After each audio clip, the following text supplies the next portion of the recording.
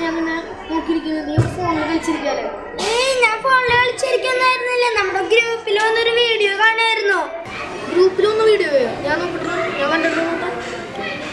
ഇതിപ്പോ വന്ന വീഡിയോയാ നീ കണ്ടിട്ടുണ്ടാവും വഴിയുണ്ടാവില്ല ഇതിൽ ഇതിൽ ജോൺ പോൾ രണ്ടാമൻ മാർപ്പാപ്പയെ കുറിച്ച് പറയണ്ടല്ലോ ഇതാരാണ് എനിക്ക് ജോൺ പോൾ രണ്ടാമൻ മാർപ്പാപ്പ ആരാണെന്നൊരു പിടിയും കിട്ടണില്ല. നോയോ അവിടെ കൊയറിൽ ചേച്ചിമാര് പാട്ട് പഠിക്കണ്ടേ നമുക്ക് അവരോട് ചോദിക്കാം. ആ അത് നല്ല ഐഡിയ. നമുക്ക് അവരോട് ചോദിക്കാം.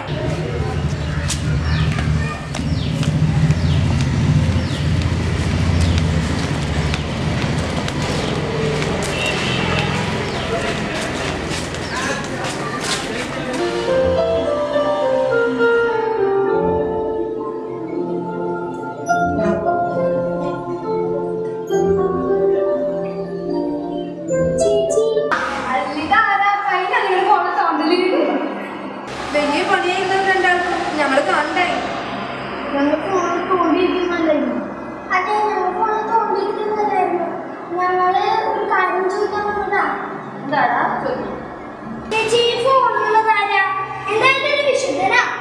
ആ നമ്മുടെ ജോൺ പോലെ ഉണ്ടാകുമ്പോഴല്ലേ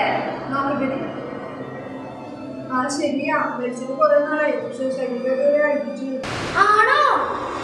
ഞങ്ങൾക്ക് ഈ വിശുദ്ധന്റെ കഥ ഒന്ന് പറഞ്ഞു തരും. അതിപ്പോ ഞങ്ങൾക്കറിയുന്നത് ഞങ്ങൾ പറഞ്ഞു. പണ്ട് യുദ്ധങ്ങളൊക്കെ നടക്കുന്ന സമയത്താ പിതാവ് കോളേജിൽ ജയിച്ചത് എട്ട് വയസ്സായപ്പോ അമ്മ മരിച്ചു. ജോസഫ് എന്നായിരുന്നു പിതാവിന്റെ പേര്. പിതാവിന്റെ അപ്പൻ ആളെ ദൈവവിശ്വാസത്തിലൊക്കെ വളർത്തിയത്. പക്ഷേ പിതാവിന്റെ അപ്പന്റെ പേര് ഇതാന്റെ അപ്പന്റെ പേര് എഡ്മണ്ടോ അങ്ങനെ എന്തോ ഞാൻ പണ്ട് കാറ്റസിന് വിശുദ്ധനെ പോയതോ കുറെ നേരായില്ല നിൽക്കുന്നത് നിങ്ങൾ നമ്മളെ സാരം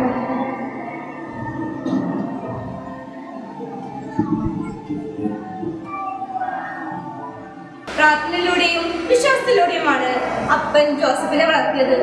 പരിശുദ്ധ അമ്മയെ സ്വന്തം അമ്മയായി കാണാനാണ് പിതാവ് ജോസഫിനെ പഠിച്ചത്. യുദ്ധമായതുകൊണ്ട് ജോസഫിന് പഠിക്കാൻ പറ്റിയില്ല. പക്ഷേ യുദ്ധകാലായതുകൊണ്ട് എന്തോ ജോലിക്ക് പോയിരുന്നു ഏതോ പണിക്കണ്ടി പാറകുട്ടികളൊക്കെ പോയിട്ട് പന്ത്രണ്ട് മണിക്കൂറൊക്കെ എന്നെ ജോലി. കുറെ അധ്വാനിച്ചിട്ടുണ്ട്. പിന്നെ പെട്ടെന്ന് ഒരു ദിവസം ആളുടെ പിതാവ് മരിക്കുകയും ചെയ്തു.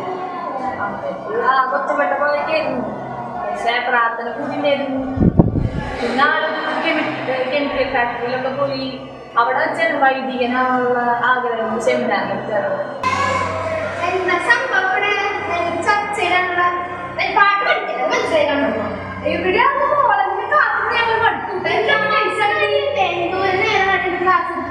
കഴിഞ്ഞപ്പോ നേരം സംഭവം? പറഞ്ഞില്ല. ഇവിടെ ഞങ്ങൾ ചർച്ച ആ പുള്ളിയുണ്ട് ആണോ എന്നാ ബാക്കി ചേച്ചി പറയേ അതെ അത് ശരിയാ ബാക്കി ചേച്ചി പറഞ്ഞു ഞാനിപ്പോ എന്ത് പറയാനാ അതായത് പൊന്നാമ മാർപ്പാപ്പയുടെ ആ പേരുണ്ടല്ലോ അത് വരാൻ കാരണം അപ്പോൾ നമ്മുടെ മാർപ്പാപ്പയുടെ പിൻഗാമിയാണ്. അതുകൊണ്ട് അങ്ങനെ വരാൻ കാരണം. പിന്നെ ഈ മാർപ്പാപ്പന്മാർ മീറ്റിംഗ് ഉണ്ട്. കോൺക്ലേവ് അതിന് പറയാം. അത് നടക്കാൻ റൂമിലാണ് അവിടെ വെച്ചിട്ട് എടുത്തതാണ് മാർപ്പാപ്പയുടെ അപ്പൊ പണ്ടത്തെ പേര് ജോസഫിനായിരുന്നു അത് ആകെ പേടിച്ചു. ഞെട്ടിപ്പോയി. ആ ആണല്ലോ മാർപ്പാപ്പ കിട്ടിയത് പിന്നെ ഒരു പ്രധാനപ്പെട്ട കാര്യം നിങ്ങൾ പറഞ്ഞില്ലല്ലോ. അത് കുറേ രാജ്യങ്ങളും സ്ഥലങ്ങളൊക്കെ കാണാൻ പോയിട്ടുണ്ട് അത് ജാതി മന്ത്രമൊന്നും ഒരു വിലയും കൊടുത്തിട്ടുണ്ടായില്ല. അത് ദേശീയ കരുതിയിരുന്നു അതുകൊണ്ട് തന്നെ അത് കുറെ ശത്രുക്കളുണ്ടായിരുന്നു. പിന്നെ ആ സ്ഥലത്ത് പോയപ്പോ മുഹമ്മദ് അലി അങ്ങനെയൊക്കെ പറഞ്ഞല്ലോ ആൾ എഴുതി പക്ഷെ മനസ്സില്ല പിന്നെ ഈശോയുടെ പോലെ തന്നെ ആൾ ആ അവർ ക്ഷമിച്ചു. പക്ഷെ അങ്ങനെയൊക്കെ പറ്റൂലേ? കൊറേ സ്ഥലത്തേക്കൊക്കെ മറക്കാത്ത പോയിട്ടില്ലേ? അപ്പൊ ഇവിടെ വന്നെന്താ? ആ പിന്നെ വന്നിട്ടുണ്ടല്ലോ. നമ്മുടെ കാലം ഇടവകയിലെ രണ്ട് ദമ്പതികളെ വിവാഹം ആചരിച്ചത് നമ്മുടെ പാപ്പയാണ് ഏ അതെങ്ങനെ? അന്ന് നമ്മുടെ അൽഫോൺസമ്മയുടെ പാട്ടുപെട്ടാളാക്കാൻ വേണ്ടി വന്നപ്പോ. പിന്നെ ഇരുപത്താറര വർഷത്തോളം മാർപ്പാപ്പയായിരുന്നു മലയാളമായ ശേഷമാണ് ബെനഡിക്ട് പതിനാറ് മാർപ്പാപ്പ തെരഞ്ഞെടുത്തത് പിന്നെ പാപ്പ നല്ല പ്രാസംഗികനായിരുന്നു. പാപ്പയുടെ പ്രസംഗത്തിൽ കേൾക്കാനായിട്ട് ലക്ഷക്കണക്കിന് ആൾക്കാർ വരുമായിരുന്നു ഈ കുട്ടികളൊക്കെ ഒത്തിരി ഇഷ്ടമായിരുന്നു ഇങ്ങനെയൊക്കെ സംഭവിക്കും. പിന്നെ അവരുടെ ദൈവത്തെ രജസൻ കൂടുതലായിട്ട് അറിയണമെങ്കിൽ ഞങ്ങളുടെ സ്പെഷ്യൽ അസംബ്ലിക്ക് ചെയ്തൊരു വീഡിയോ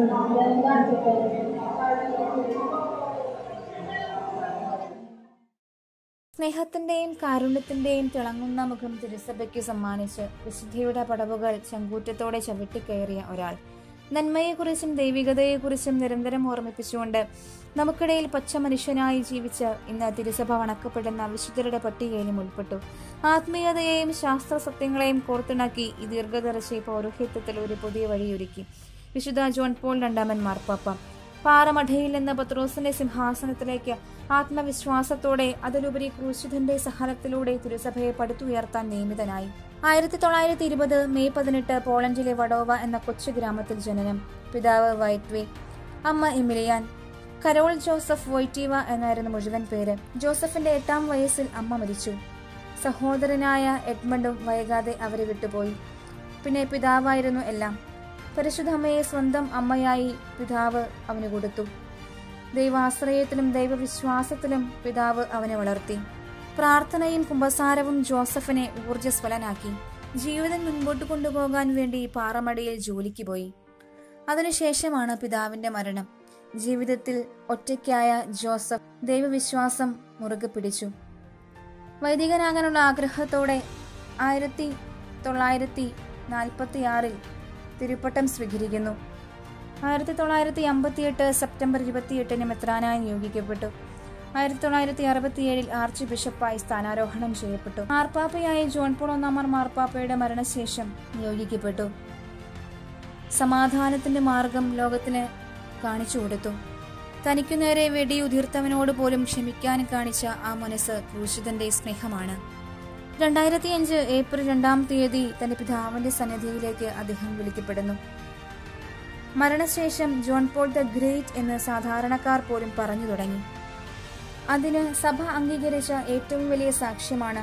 ജോൺ പോൾ രണ്ടാമൻ മാർപ്പാപ്പയുടെ മധ്യസ്ഥതയിൽ ഫ്രഞ്ചുകാരി സിസ്റ്റർ മാരി സിമോണിന് പാർക്കിൻസസ് രോഗത്തിൽ നിന്നും അത്ഭുതകരമായി രോഗവിമുക്തി ലഭിച്ചത്. ഈ അത്ഭുതത്തിന്റെ അടിസ്ഥാനത്തിൽ ജോൺ പോൾ രണ്ടാമൻ മാർപ്പാപ്പയെ രണ്ടായിരത്തി പതിനൊന്ന് മെയ് ഒന്നിന് അദ്ദേഹത്തിന്റെ പിൻഗാമിയായ ബെനഡിക് പതിനാറാമൻ മാർപ്പാപ്പ വാഴ്ത്തപ്പെട്ടവരുടെ ഗണത്തിലേക്ക് ഉയർത്തി. രണ്ടായിരത്തി പതിനാല് ഏപ്രിൽ ഇരുപത്തിയേഴിന് പാപ്പയെ വിശുദ്ധ പദവിയിലേക്ക് ഉയർത്തി. തിരുസഭയിലെ ഏറ്റവും പ്രായം കുറഞ്ഞ മാർപ്പാപ്പയായി പാറമടയിൽ എന്ന പത്രോസിനെ സിംഹാസനത്തിലേക്ക് തുടർന്ന് എന്നും വണക്കപ്പെടാനായി രൂപക്കൂട്ടിലേക്കും വിശുദ്ധിയുടെ പടവുകൾ ചവിട്ടി അദ്ദേഹം എത്തി. പ്രാർത്ഥിക്കാം മധ്യസ്ഥം നേടാം ഈ പുണ്യ പാപ്പയോട് നമുക്ക്. കൊറേ നേരമില്ലേ പാപ്പനെ കുറിച്ച് പറഞ്ഞിരിക്കുന്നു. നമുക്ക് കുറച്ച് പാട്ട് പഠിച്ചാലോ? ഇത്രയും പറഞ്ഞു